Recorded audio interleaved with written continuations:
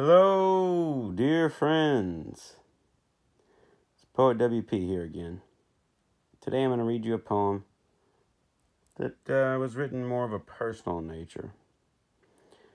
Long ago, back in my barfly days. Um, check it. Look what you're staring at now. I dug this bitch out of the fucking basement the other day. Well, not the other day, a few months back. A couple months back, I guess. Anyway, this is my original Trapper Keeper designer series, of course. From 1989. Yeah, buddy.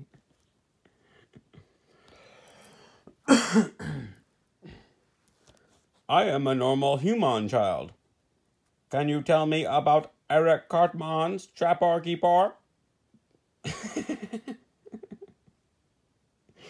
Shout out to all the South Park fans. You know what I'm talking about.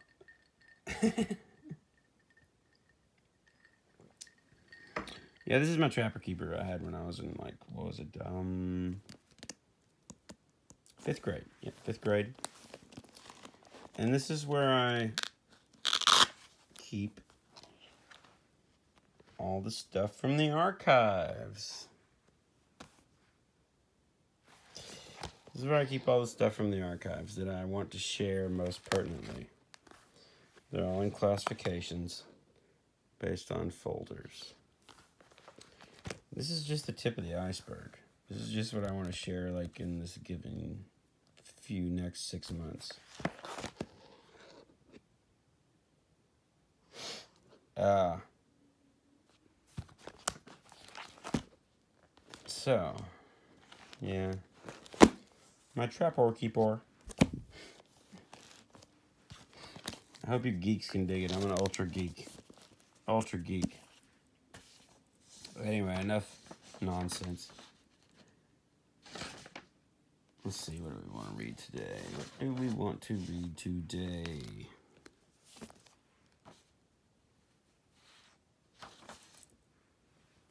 There it is.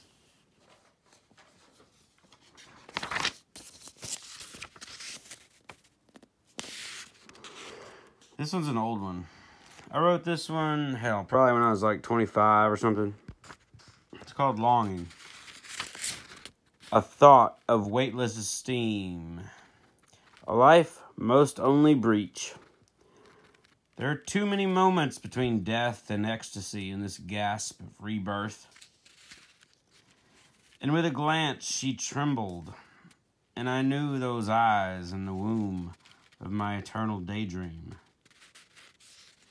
Fantasy marries reality and the rituals of my moods. A life that knows love bears immortal ease in its passage.